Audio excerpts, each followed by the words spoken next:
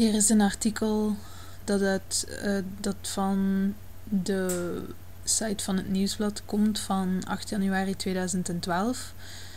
Een schietpartij bij een bar na een ruzie tussen klanten en uitbater. Um, in het artikel staat dat het twee Albanese waren die het aan de stok kregen met de uitbater en enkele van zijn vrienden, allen van Bulgaarse origine. Um, en de reden van de ruzie was niet meteen duidelijk.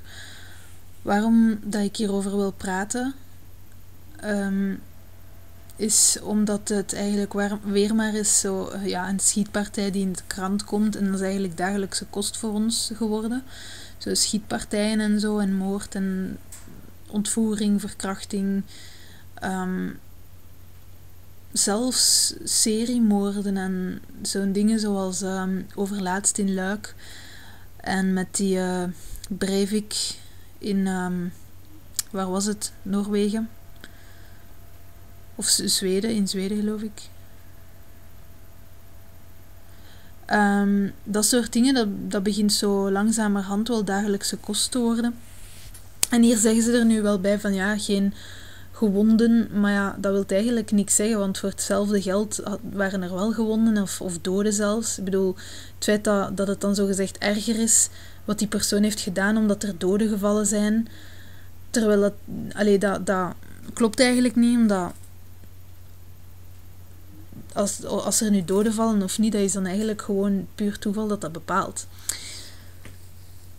Um, maar wat verontrustend is van die, over zo'n zo'n verhaal, is eigenlijk dat de wereld van mensen en de menselijke samenleving en het bestaan in de menselijke samenleving altijd maar moeilijker en moeilijker lijkt te worden, omdat, omdat wij eigenlijk altijd maar meer en meer redenen krijgen om elkaar niet te vertrouwen. Als je kijkt in het nieuws, als je het nieuws leest, dan zie je eigenlijk hoe ongelooflijk gestoord mensen wel niet zijn of kunnen zijn. Dus ik bedoel, buiten je familie en mensen die je kent, van je vrienden en zo, kunt je eigenlijk, alleen heb, heb je gewoon het gevoel dat je niemand meer kunt vertrouwen. En uh, ik heb toch die indruk dat, dat bijvoorbeeld ik ook, zoals ik, als ik naar mensen kijk, allee, als ik naar mezelf kijk en hoe ik mij voel en ervaar tegenover mensen in mijn omgeving, als ik ze niet ken, als ze niet deel uitmaken van mijn familie en mijn, uh, mijn verleden, dan voel ik mij sowieso wantrouwig omwille van het nieuws en omwille van het nieuws dat ik lees en omwille van allemaal verhalen die ik heb gehoord van moord en verkrachting en ontvoering en allemaal verhalen die mij eigenlijk laten zien hoe gestoord mensen kunnen zijn in hun hoofd. Ik bedoel, er is weinig nodig eigenlijk om, om mensen naar een geweer te doen grijpen en blijkbaar elkaar gewoon te willen vermoorden eigenlijk. Want ja, die mensen die hier nu hebben geschoten bij die bar, dat was duidelijk allez, met, met het oogpunt op moord. Dus, allee, mensen zijn daartoe in staat en dat is dagelijkse kost. Dus dat wil zeggen dat een hoog percentage van de mensen, van, van de mensen in de samenleving is gewoon in staat tot moord. Als niet iedereen. Allee, ja, je weet het nooit uiteindelijk wie dat er in staat is tot moord en wie niet. Um, en dat is juist het punt van wantrouwigheid. En um, dat is wel um, ja, een interessant punt als je kijkt naar de menselijke samenleving en beseft dat eigenlijk is dit een heel demonische wereld geworden.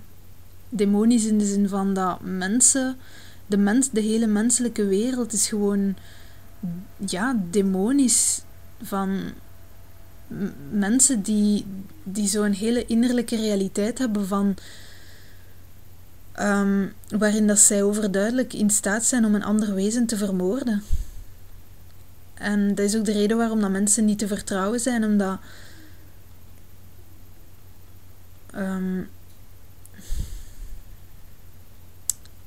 omdat, ja, omdat mensen van alles denken in zichzelf, omdat mensen allemaal emoties hebben in zichzelf die, die mensen eigenlijk van alles doen, doen. En we weten dat van elkaar. En dat is net hetgeen wat, wat het, het wantrouwen in onszelf tegenover een ander cultiveert, is namelijk dat wij weten van elkaar dat wij gedachten hebben en dat een ander ook gedachten heeft en dat een ander ook emotionele reacties heeft, dat een ander ook emotioneel zal reageren.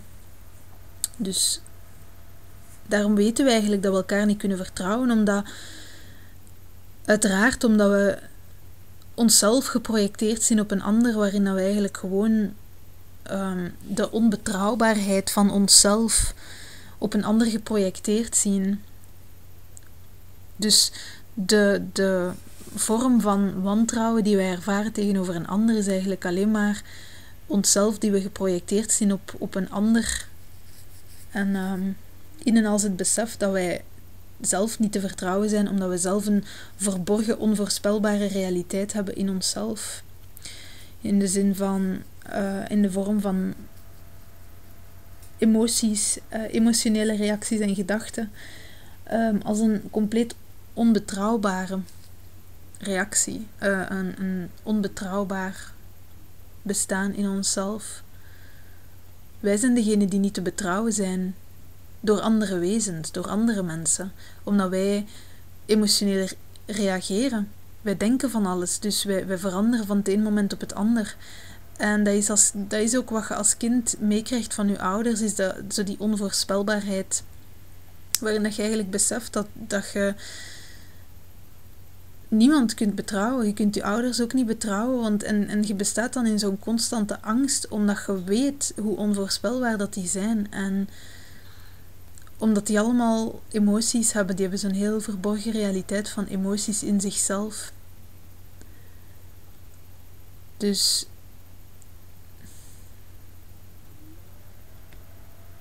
dat is eigenlijk wie wij mensen zijn geworden.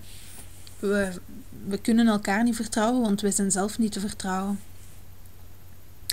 En dat zullen we natuurlijk nooit toegeven, maar als we eigenlijk echt eerlijk zijn met onszelf, dan zullen we, dan zullen we dat beseffen. En dan moeten we dat aan beseffen van onszelf. Dat wij gewoon zelf niet te vertrouwen zijn omwille van emotionele reacties en omwille van gedachten. Omwille van gedachten die in onszelf bestaan, kan een ander ons onmogelijk vertrouwen. Net zoals wij een ander niet vertrouwen, omdat wij beseffen en denken en geloven en weten en zien dat een ander ook denkt en emotionele um, reacties heeft in zichzelf. Omdat wij onszelf zien.